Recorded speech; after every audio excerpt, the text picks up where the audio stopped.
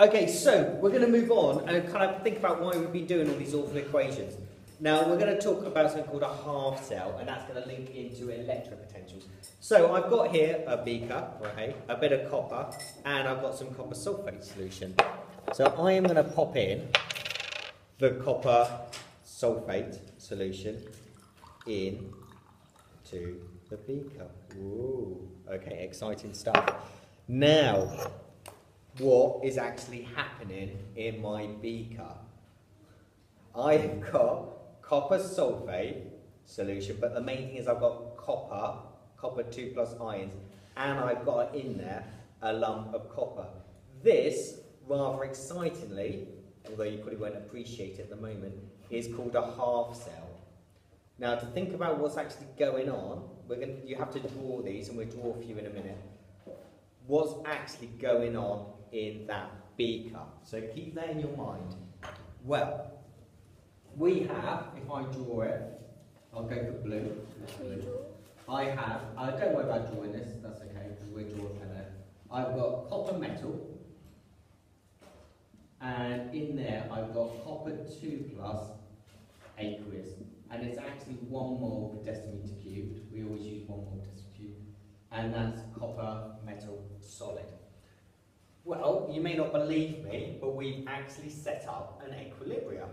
And the equilibrium is copper 2 plus aqueous plus 2 electrons is in equilibrium with copper solid. From now on, we're going to write them, these, because I know we previously we've kind of like been a little bit naughty.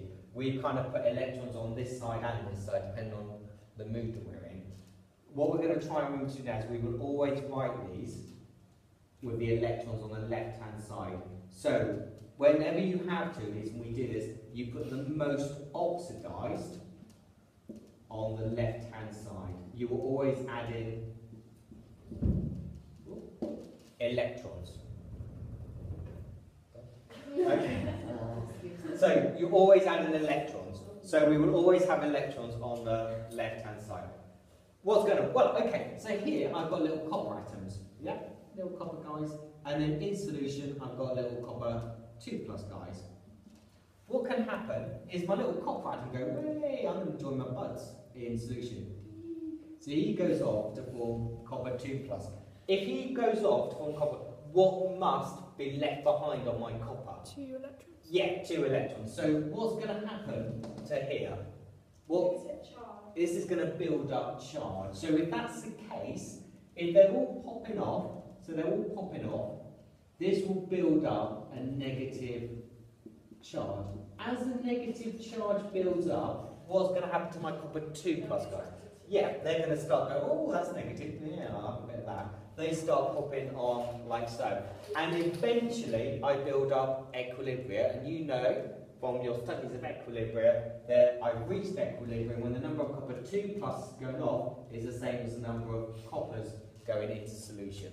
Yeah? So I've reached the rate. The rate of the forward is equal to the rate of the backward.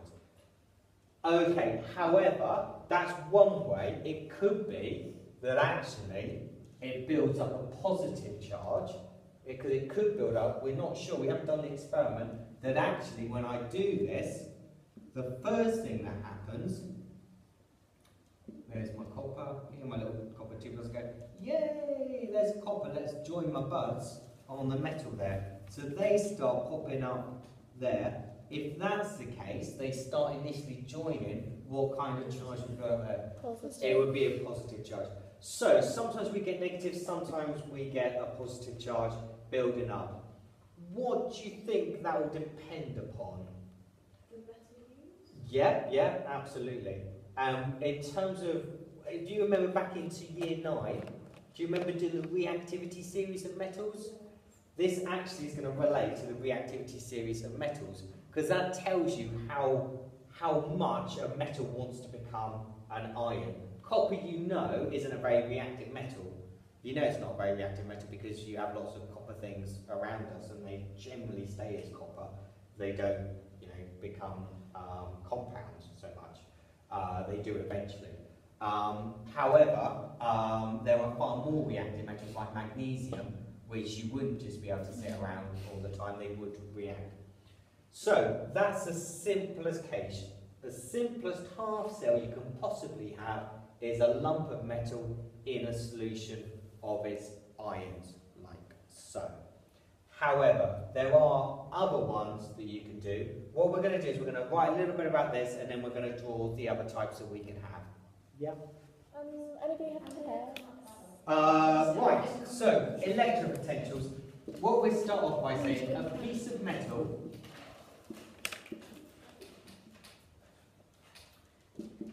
in one of its salt solution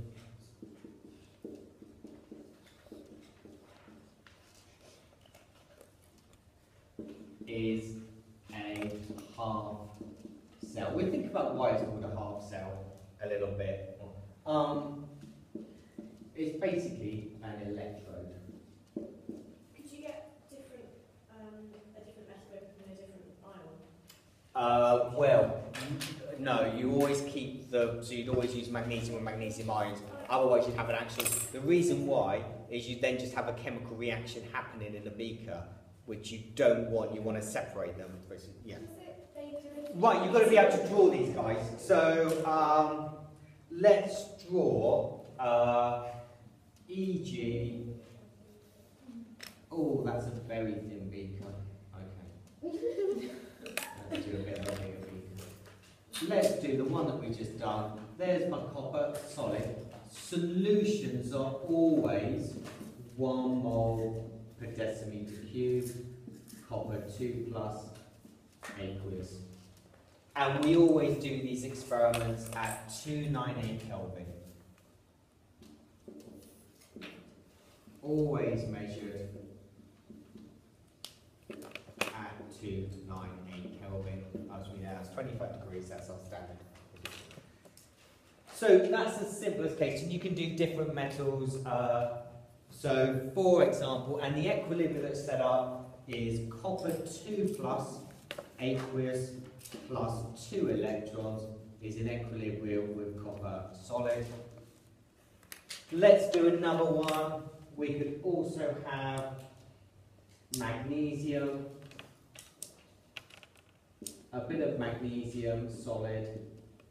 This time I'm going to put them in Mg2 plus aqueous. Again, one mole. It's really good to just get used to always writing one mole per cube. And as we've said, we always write the most oxidized on the left-hand side. We are always going to add So- electrons to something. It's always got to be adding electrons. So it's very, very easy to do this for a metal. You take the solid metal and you stick it in a solution. What about non-metals? This bit has got to be able to conduct electricity. So how am I going to work it with non-metals? Well, the way I do it is I have to use an inert electrode and I use an inert metal, one that doesn't react, and I actually use. So for non-metals, you've got to be able to it for non-metals. So for non-metals, um, e.g., let's do a half Cl2 plus an electron in equilibrium with Cl minus aqueous. Chlorine we know, of course we know, is a gas. So the way I do it is I get my uh, beaker. In my beaker I have Cl minus spins and a gain of one mole per decimeter cube. But I've got to get my chlorine gas in there, so it's kind of like an upside down test tube. In that I have a platinum wire. So that is a platinum wire and it sticks in there and in here I pump oh no go away Cl2 gas and that is at one atmosphere pressure so it's Cl2 gas at one atmosphere pressure. And it's still in. Sorry? What's the CO? Cl minus ions, yeah. In aqueous and also in gas. I've got chlorine gas, because that's my state of this one. Chlorine gas, and the gas fills up this. That's at one atmosphere. And then I've got chlorine ions there. Um, can I just do really quickly for um, mixed ions? So, e.g., if you wanted to measure this, Fe3 plus aqueous plus an electron in equilibrium with Fe2 plus aqueous, this guy, you can't use iron as a metal because if you used iron you would have all sorts of other equilibria knocking on. So the way you do it is you use platinum electrode and in solution you have Fe2 plus aqueous, 1 mole per decimeter cubed, and also you have Fe3 plus aqueous at 1 mole per decimeter cubed. So is that like transition? Yeah, yeah, yeah. It's only when you have a mixed oxidation state. So the platinum doesn't get eroded. If I didn't do that, I'd have all sorts of other equilibria knocking around. I'd have Fe2 plus plus 2 electrons in equilibrium with iron, Fe3 plus plus 3 electrons in equilibrium with iron. I'd have it all knocking around. So I don't want that happening. So I remove it. So I'm just measuring this one. I just want to see what charge builds up when I have Fe3 plus and Fe2 plus.